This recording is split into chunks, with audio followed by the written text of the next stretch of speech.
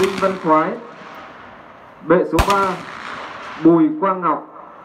Bệ số 4 Nguyễn Bình Nguyên Bệ số 5 Bùi Đức Thuận